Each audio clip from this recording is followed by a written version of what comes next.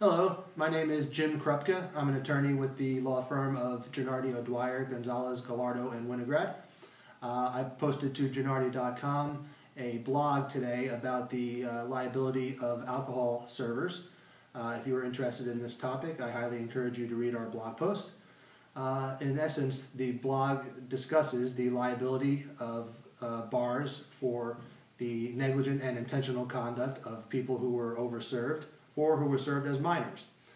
Um, the Licensed Alcoholic Beverage Server Liability Act um, basically imposes upon establishments that serve alcohol the duty to cut off people who have been overserved. Um, bars that overserve people, serving alcohol to people who are visibly intoxicated, can be uh, liable for the damages that result from the overserved person's uh, intentional and negligent acts. Um, essentially, what happens is if a bar is approached by a visibly intoxicated person, they have to not serve that person. What is visibly intoxicated? Well, it means the classic signs of intoxication that we've all uh, come to know slurred speech, staggering, aggressive behavior.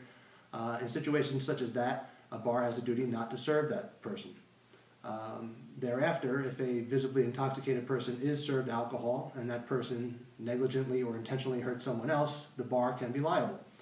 A plaintiff must prove not only that the bar served a minor or a visibly intoxicated person, but that their injury was proximately caused by the overservice and that their injury was also uh, reasonably foreseeable.